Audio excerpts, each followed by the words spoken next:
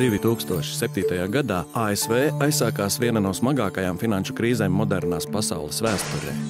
Latviju krīze sasniedza 2008. gada beigās, kad strauji sāka kristies iekšzemes koprodukts. Valsts budžetā veidojās milzīgs deficīts. Tā kā traknējos gados nebija veidoti uzkrājumi, valdība vienojās ar starptautiskajiem aizdevējiem par iespēju aizņemties 7,5 miljardus eiro. Ja aizdevums netiktu piešķirts, jau drīz valsts nespētu maksāt, piemēram, algas valsts sektorā strādājošajiem, pensijas, pabalstus. 2011. gada 22. decembrī aizdevuma programma noslēdzās.